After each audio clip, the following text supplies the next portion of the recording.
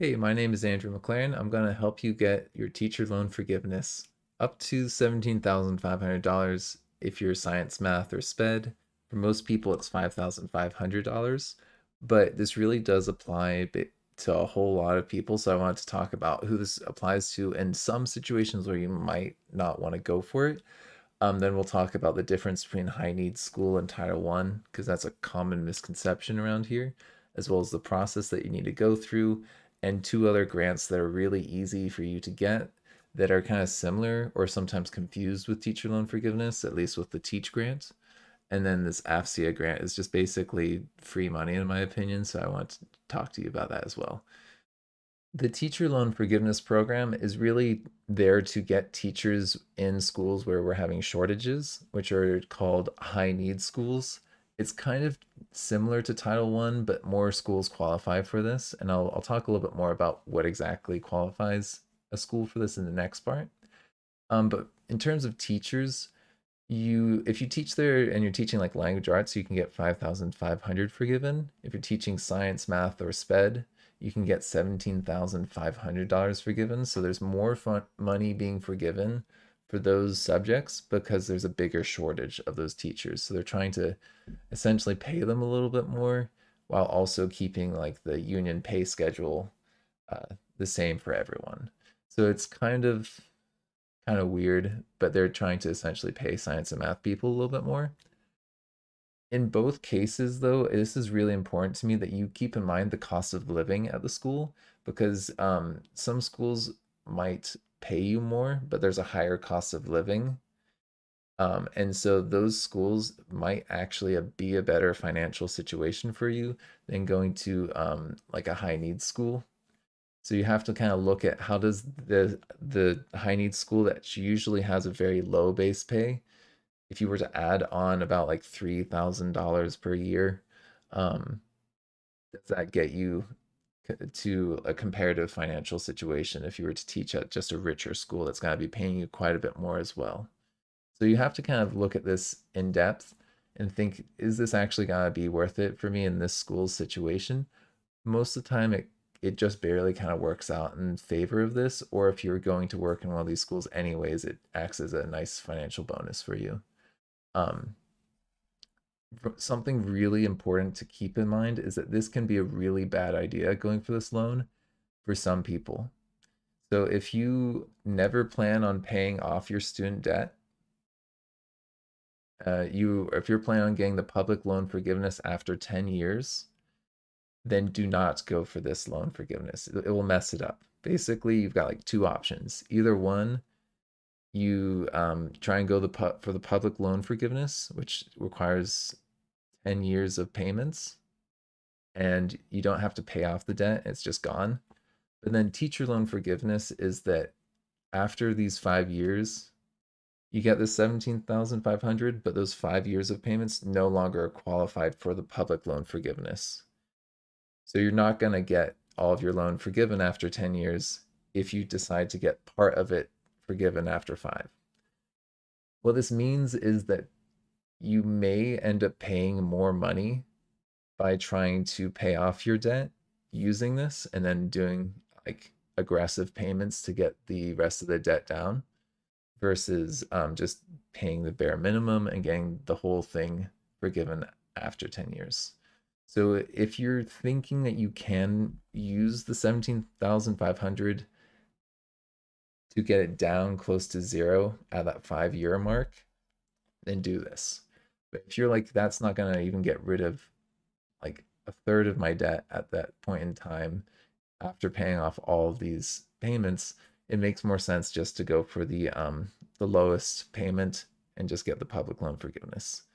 So just kind of keep that in mind. You know, I'm also I'm not a financial expert, but this is what I found for myself when I tried to calculate this was it, it made sense for me because my debt was low enough that I was able to use the 17,500 to get me down to a manageable point to just pay off the rest. And then that total amount that I paid would be less than if I'd just been paying for 10 plus years. Um, yeah, it's it's a balancing act. It's hard to say exactly what will work out, but for most people, this is a, a good thing to go for. Um, but it might not, depending on how much debt you have, because it might mess up your 10 year loan forgiveness, which you, you don't want to do. so it's really important to clarify that there's a lot more high needs schools than just the schools that have Title I funding. So I was at a school where none of my coworkers and my boss didn't know that the school actually was qualified. And I was able to apply and I was correct and I was able to get this loan forgiveness. And other people started doing that as well because now we knew that. So the real way to know if your school qualifies or not is if you go to the teacher loan forgiveness uh, page on studentaid.gov, there's a ton of information here and they tell you all about the exact requirements in the loan and all that stuff. Um, most loans, if it's like um, those public loans from the government, you can usually get those uh, to be included in here. You might need to consolidate them. There's a couple tricks you might need to do. But this directory, the teacher cancellation low income directory, this is what determines if something is um, high needs or not and it's determined by your state. So states ha- have submissions that they give to this one database, and you can go on here and you can search for your school and try and find it. Now, I had a hard time at first trying to find the school that I was at. And so you can see on here if you do like Oregon and like maybe like one of these years and you just search, they'll give you like all of the schools in that state and the locations. They need to be like precise in the wording. So you need to say like lane if you want to get something from there or like Morrow, right? So it's one of those things that you have to actually be kind of precise. Um, I think, yeah, lane not there, but here, I believe. Yeah, so like these are all in the location of lane. And so there are, you can kind of find your schools based off of that. And it's kind of hard, honestly, to find your school. I've I've been having a hard time with some of them sometimes. But you can see like, okay, yeah, like this school qualifies. And that school qualifies, right? And there's a lot of schools on here that um, might not be Title One schools um, that are actually on this list. So like in for example in Springfield there's only one of the middle schools that actually is Title 1, but you can see like I believe all of their middle schools are going to be on here. So it's it's a little bit different than what is gonna what's Title One qualifications and what gets you on here. And I'm not sure like generically what determines if they're on here or not, um, but it's probably looking at some stats on the report card and um, student performance and that kind of stuff, right? income level of families and that, all that info that they can look at at the state level. Just know that it's fairly easy to qualify for. In addition, you only need to have it be for one of the years. So some of these schools may not be um, there for some years and they may be there for different years. So like I remember there was one school that I was at where it was like 2014 15 showed up, but 15 16 did not show up here. And so you need to um, just kind of check all the years as well as searching for your school. So just keep that in mind that you only need it to be qualified. Like I think some of them changed there. It only needs to be qualified for one year. So if it's on this list for one year, then you're golden. You're totally good um, for teaching there to get this qualification. Also keep in mind that all the stuff is ultimately handled by your loan provider. So you need to check with them and contact them about the process for this um, and prove to them that your school does qualify because the the loan provider they didn't know if my school would work or not and then i needed to show them yes it's on this list um, it qualifies and so they were able to then at that point move forward with the application but i needed to do a little bit of collaborating with the loan provider to clarify that yes, actually the situation does work for this. So the process for this is actually very, very simple. Um, you just work at a high need school and clarify that it is actually a high need school by checking that list that I showed in the last section. Um, and then you contact your loan provider and let them know you're going to apply for teacher loan forgiveness. Usually they have on their website some online application. It's a little bit different with different uh, online providers. But in the end, they're going to give you this form And basically, this form is something that you fill out and you just give to your administrator, and your administrator confirms, yes, this person taught here, they taught these subjects, um, and like I, as the administrator, say this person actually worked here. That's basically all it is is them having some someone that they know is in charge of the school confirming that you worked there. Um, you do need to do this each year. There's a certain annual deadline. Um, they do say that the loan application can be denied if you don't do that. I've been told that some people didn't do this every year. They just su submitted the application after five years and still got the loan forgiveness. But I'd just doing the yearly if you can, but also don't think that you've been disqualified if you didn't do that. Um, I would still try and apply at the end of those five years and see if you can get it. Um, and then after that, with that last one, once it's submitted, it just gets taken out from your account. It's pretty cool. It's a good moment. so there's a bonus I, I want to talk about. There's also the Teach Grant, which is very often confused with the teacher loan forgiveness. Um, most of the loan providers will actually double check that you're applying for the right one. You can get both at the same time as well, which can be kind of confusing. The Teach Grant is basically a loan, is what I think of it as, which also makes this confusing. So this is money that you can get while you're in school trying to become a teacher. So it's a grant, but it's converted to a loan if you don't teach for four years. Um, and you have to do that within eight years of getting this um, teaching license. So you can get $4,000 per year. Um, my master's program was in like the summer school year and then another summer. So technically count for two years. So my master's program, I was able to get $8,000 just forgiven and paid for. Um, you could, in theory, do this while you're in undergrad as well if you're intending to become a teacher. There is some things where it has to be a, like a university that partners with uh, the government to do this teach grant funding like this, but um, you should be able to do this in undergrad in theory at least.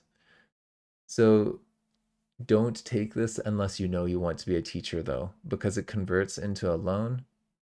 Or I should say don't unless you're planning on being a teacher or you would have to take out that loan um, anyways, because this just turns into a regular loan and you do have to pay the interest for all the years so you might have a much bigger loan than you thought, and it may have ballooned up quite a bit if it's been 10 years since you took this um, grant. So just keep that in mind that if you choose to leave before four years of teaching, you're going to have to owe this money back plus interest. I don't like that fact, but it's just kind of what it is. So I would say don't take this unless you need a loan anyways um, and um, you're planning on becoming a teacher. Okay, not a big deal if ends up turning into a loan and you decide to not be a teacher, but don't take this grant if you could fund it um, otherwise. Like it's not free money, it, it is kind of tied to that interest, so just beware. Um, there is also this AFCEA grant, which is a little bit different. Like the Teach grant is uh, same sort of thing like the federal student aid and they've got a ton of information about like the teach grant here um, but the uh, the AFCEA this is the, I think it's the armed forces I believe and so it's basically money for STEM coming from military funding which is kind of like interesting but I think I got I believe it was 5k while I was in school and then um, another thousand dollars for two years afterwards. And they've kind of changed how they've packaged these things since then. But you can still get scholarships like these ones for teachers. Um, so you can get like think it was two thousand five hundred dollars for get um paid for. And from what I remember, this was very very easy to apply for, and they accepted me. And I was not able to get like any other grants. Like I didn't qualify for for mo- most of those various things that you would get, right? So this was my way in of getting some funding. Um, so you can get that scholarship maybe a little bit easier than some other ones, and it's for all teachers um, as long as you're going into science, technology, um, or math. And then there's also some grants that they have for the classroom, which people don't realize. So this is pretty good chunks of money, three thousand um, dollars $2,000, you know, so on and so forth that they've got. And these are, I think people just don't know about them. Um, so I've found that they're a little bit easier to get than some other some other grant money. Okay. All right, that's it. Thank you for joining me. This has been Andrew McLaren. Thank you for McLearning with me. I've got a few more offers that I'd like to let you know about. And remember, like and subscribe. For each video on YouTube, I am making an interactive version using HP5. These will be for sale on Podia. And if you click on the link in the video, you should be able to go directly to that product. I also have two demos I'm going to be linking so you can kind of see what they these products look like. Um, so I would recommend checking out those demos. I also offer one-on-one remote tutoring through Wyzant. Please use the links that I have linked below. That way I can get 100% of the uh, hourly rate as opposed to 75.